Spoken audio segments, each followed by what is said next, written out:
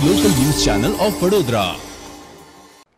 સયાજીગંજ વિસ્તારમાં કડક બજારથી અલકાપુરી તરફ જતા રેલવે ગરનાળાનું સમારકામ હાથ ધરવામાં આવનાર હોવાથી તારીખ આઠ ડિસેમ્બર સુધી આ રેલવે ગરનાળું વાહન વ્યવહાર માટે બંધ રાખવામાં આવ્યું છે, જેની વૈકલ્પિક વ્યવસ્થા અંગેનું જાહેરનામું પોલીસ કમિશનરે બહાર પાડ્યું છે.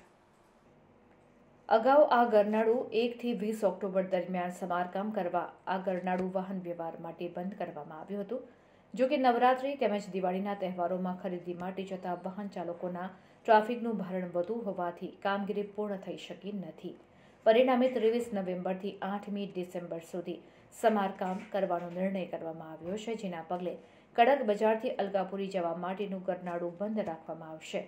જેના વૈકલ્પિક રૂટ તરીકે કડક બજાર નાકાથી રેલવે સ્ટેશન તરફ તથા કાલાઘોડા સર્કલથી સૂર્યા પેલેસ થઈ જેતલપુર બ્રિજ થઈ જવાનું રહેશે તેમ એક જાહેરનામામાં જણાવાયું છે.